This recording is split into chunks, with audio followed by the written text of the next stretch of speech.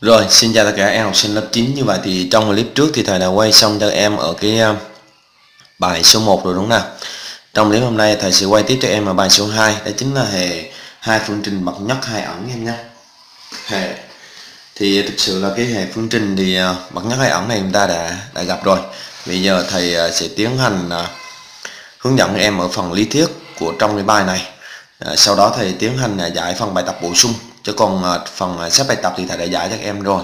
Bạn nào chưa đăng ký khóa học online thì chúng ta đăng ký nha. Ta đi sang phần thứ nhất, đó chính là khái niệm. Khái niệm về cái hệ phương trình bậc nhất hai ẩn em nha. Thì cái hệ phương trình bậc nhất hai ẩn nó có cái dạng đó chính là ax cộng bi bằng c và a phẩy x cộng b phẩy y bằng c phẩy. Được chưa nào.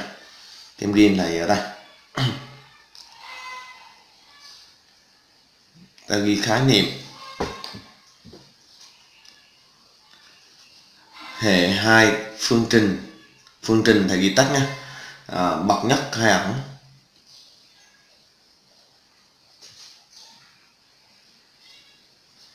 nó có cái dạng đó chính là gì em? Ax cộng bi bằng c với lại là a phẩy x cộng b phẩy y sẽ bằng c phẩy đó được chưa nào? Cái hệ số em để ý này. Thì trong nó uh, à, ax cộng bi bằng c và a phẩy x cộng b phẩy y bằng c phẩy là những phương trình bậc nhất hai ẩn được chưa? À, chúng ta sẽ đi sang phần thứ hai. À, nếu hai phương trình của hệ có nghiệm chung thì cái nghiệm chung đó.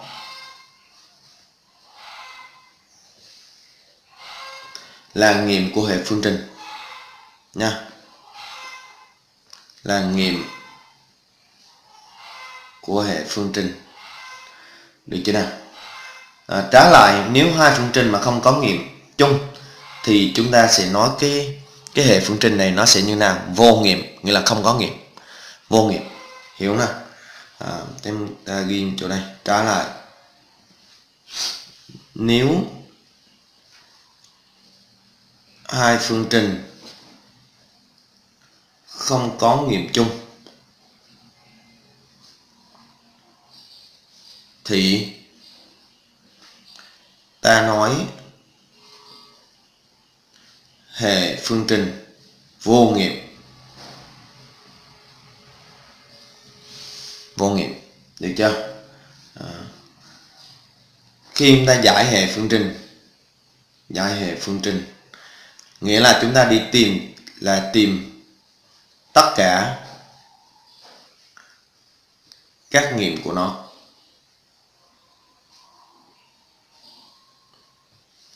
Thầy thầy lấy một cái ví dụ một cái hệ phương trình này à, ờ, ví dụ như đây là 2x trừ 3y bằng 5 ở đây là x cộng y bằng âm 4 chẳng hạn.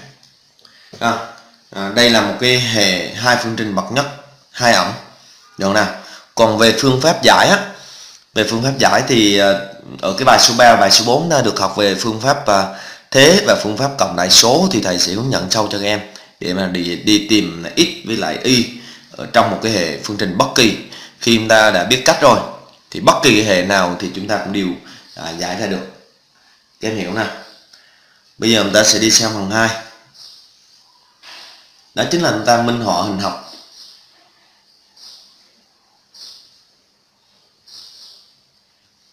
Cái tập nghiệm.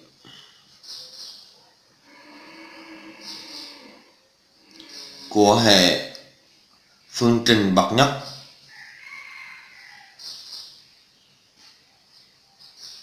Hai ống được chưa nào? Đó.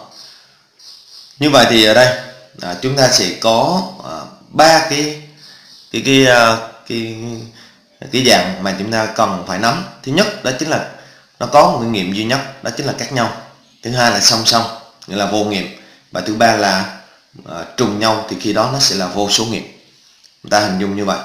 Như vậy thì à, ta gọi à, cái anh à, d phẩy là cái đường thẳng biểu diễn cái tập nghiệm của phương trình thứ nhất đó chính là ax cộng by bằng C đây là D.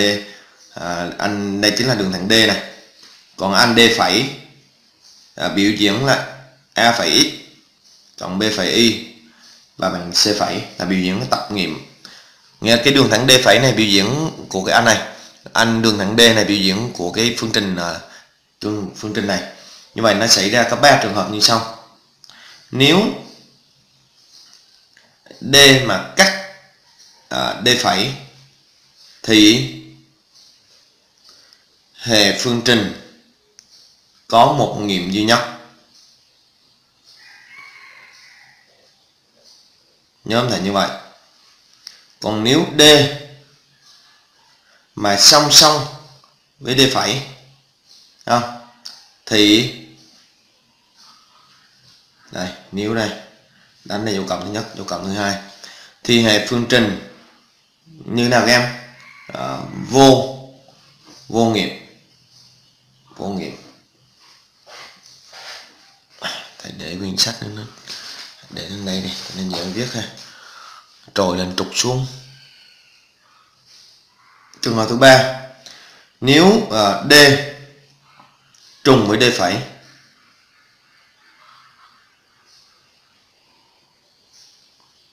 Thì hệ phương trình. Có gì? Có vô số nghiệm có vô số nghiệm được chưa nào. À, chúng ta sẽ đi sang phần à, ba. Đó chính là hệ phương trình tương đương.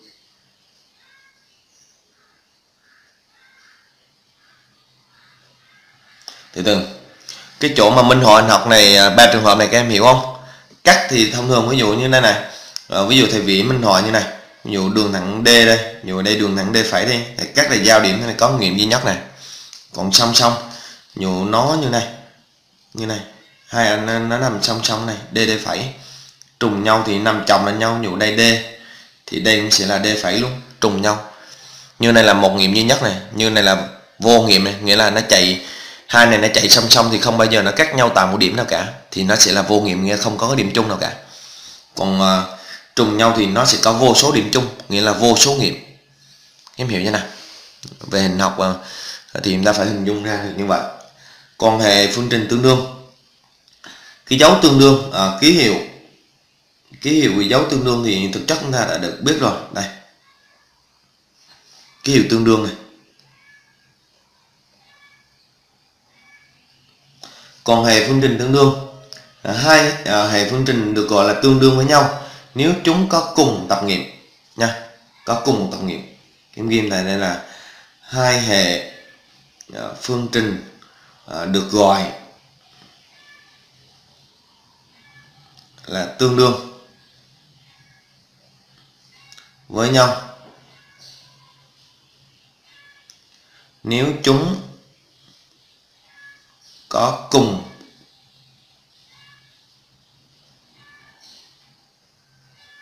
Tâm nghiệm em hiểu chưa nào? Đó. thì đây chính là toàn bộ cái cái bài à, bài số 2 ở lý thuyết đó này.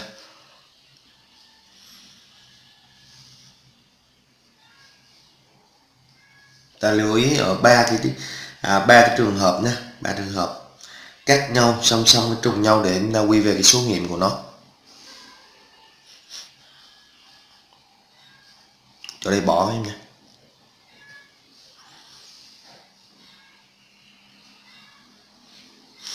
Được chưa? Bây giờ chúng ta sẽ đi sang phần là bài tập bổ sung em nhé. Còn phần bài tập này thầy đã giải các em hết rồi. Ok. À, phần bài tập bổ sung là thầy sẽ quay trong clip 2 à, trong clip hôm nay thì tới đây kết thúc em. Chúc em học tốt nha. Bye bye. Ok.